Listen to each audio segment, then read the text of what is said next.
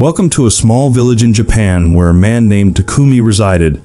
Takumi was a prosperous businessman who had achieved his wealth through years of dedication and hard work. He commanded great respect within the community for his sharp intellect and strategic thinking.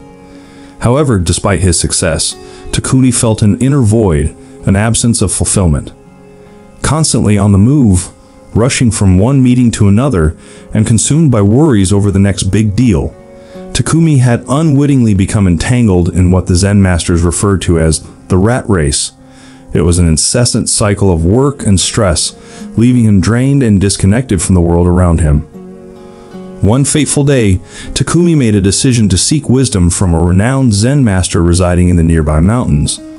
Word had spread about the master's profound insights into the true essence of life, and Takumi hoped to find guidance that would help him break free from the confines of the rat race.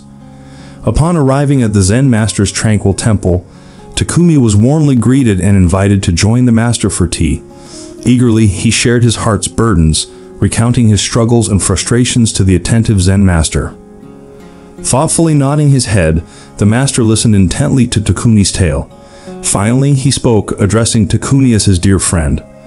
The master illuminated the truth, revealing that Takumi had become ensnared in the rat race, Focused solely on goals and ambitions, he had lost sight of the everyday beauty and abundance that surrounded him.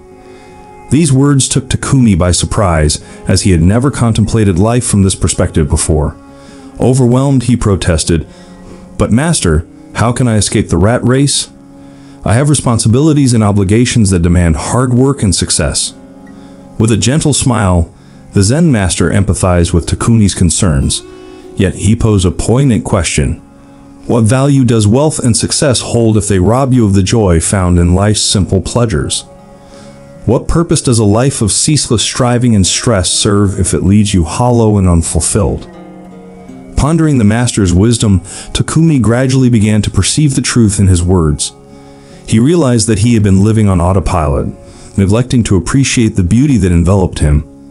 Inspired, Takumi resolved to make changes in his life. In the ensuing weeks, Takumi embraced a new path. He started waking up earlier, allowing time for meditation and introspection before commencing his day. He prioritized spending quality moments with his family and friends, diminishing his time at the office. Additionally, he fulfilled a long-standing desire to engage in gardening, an activity that had previously eluded him due to time constraints. As Takumi embraced these transformations, an unprecedented sense of serenity and contentment enveloped him. He realized that he had entangled in the rat race to such an extent that he had forgotten the true essence of living. Years passed, and Takumi aged gracefully.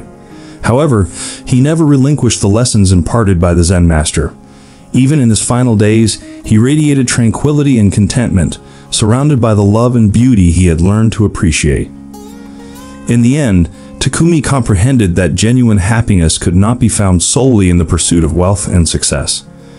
Instead, it resided within the simple pleasures of life readily available to each and every one of us. With fervor, he transmitted this wisdom to his children and grandchildren, who in turn shared it with others, disseminating the Zen master's message to all who would lend an ear.